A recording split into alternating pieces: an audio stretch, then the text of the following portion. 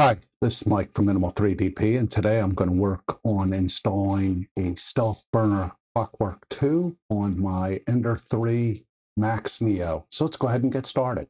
I need to start off by saying that finding a good mount for the Stealthburner, particularly if I want to reuse the CR Touch, has turned into a great big problem. Um, I've gone through several iterations now, tried several different models, nothing appears to work all that well. So with that being said, what I've done is designed my own mount. Let me switch over and show you that. So you can see my desk is a mess because I've, again, multiple revisions I have. Here is the, I'm sorry, here's the, I even held the wrong re revision. So here's the most current revision. Uh, this is supposed to fit the nine size linear rail.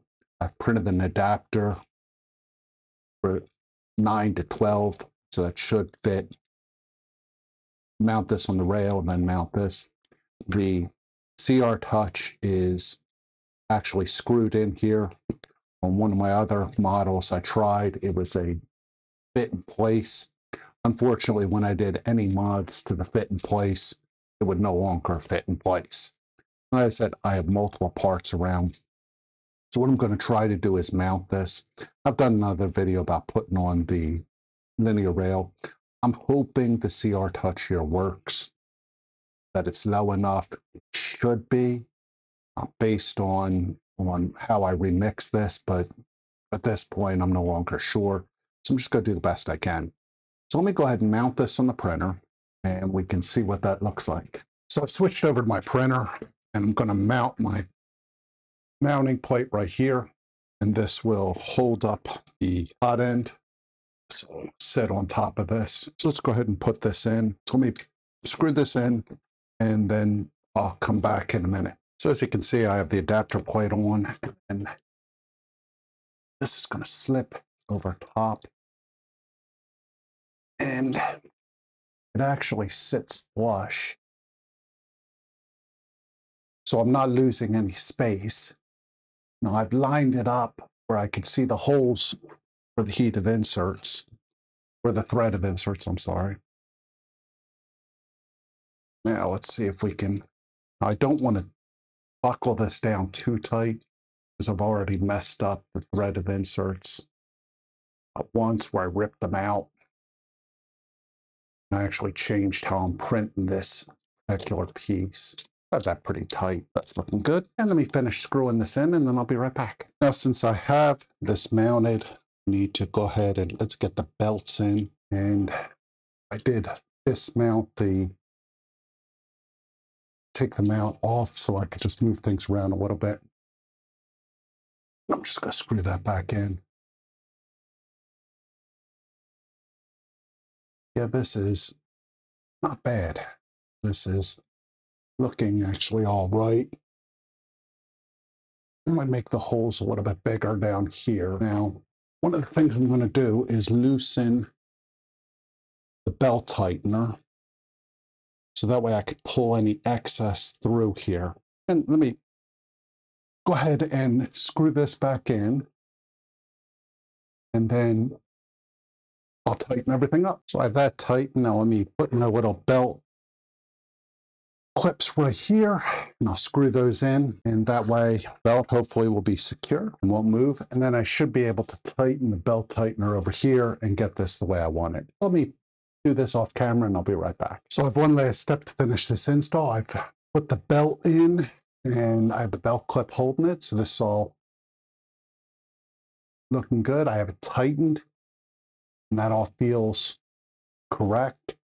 Now what I'm going to do is clip belt. I'm going to leave a little slack just in case I have to move something in the future.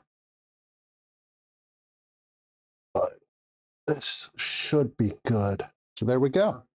I have the belts all fixed in there. Right now, what I need to do is, here's the stepper motor for X, and the end stop was actually too close to the rail here. So this wouldn't have activated with the stealthburner. So I found this piece online and I'm going to include it with my remix So I found this piece, which is a little bit taller. If you look at these side by side, this will actually move the end stop out. So I've removed the end stop. And I'm just going to screw this in here, get this all situated, and we'll install that on the printer. And then we'll continue with the stealthburner install. So give me a second while I screw this in, into my new piece, and then I'll be right back. So as you can see, I have the end stop in. So that's looking good. Might be a little difficult to get to this plug in here. So since I'm already remixing parts, I may remix this to get rid of this uh, little whip here. In fact, I'll go ahead and do that. I'm going to leave this as is, but I'll get rid of this whip in my next model. And that way it's a little bit better. And it's easier to get to the plug-in in here. Because as you can see, it's sort of blocked. Let me fix that. And let's install this in the printer in the meantime. Continue to our next steps. So I've switched over to my printer. And let's do have screws just holding the motor on here. Get rid of those. And I just did this temporary measure because I needed the be able to put the belt on here. Of course, I'm dropping the screws, but that's okay. Now, so what I'm going to do is let's loosen the belt up. So I had too much tension. It was actually moving the motor on me. Now what I need to do is Here's the old, here's the new motor mount, making my screws. And of course I dropped one. Let me push these screws through. Something I need to check is make sure these screws actually go all the way through. I have my M340s, so I'll probably use those. And let me screw this, let me get the screw started, and I'll come back. Okay, so I have the end stop mounted. That appears to be pretty tight. I'm gonna take the belt thingy off here. And that is activating the end stop. So that is good. That's Mike from Minimal 3DP. I'm just showing you my stealthburner mount for my Ender 3 Max Neo. If you have any questions or comments, please post them below. Thanks. Have a good day.